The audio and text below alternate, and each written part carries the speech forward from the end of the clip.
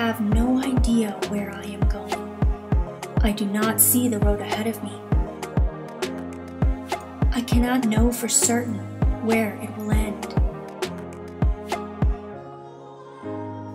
Nor do I really know myself, and the fact that I think that I am following your will does not mean that I am actually doing so. But I believe that the desire to please you does in fact please you. And I hope I have that desire in all that I am doing. I hope that I will never do anything apart from that desire.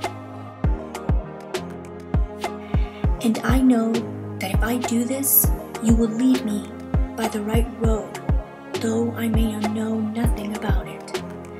Therefore, I will trust you always, though I may seem to be lost and in the shadow of death. I will not fear, for you are ever with me, and you will never leave me to face my perils alone. Amen.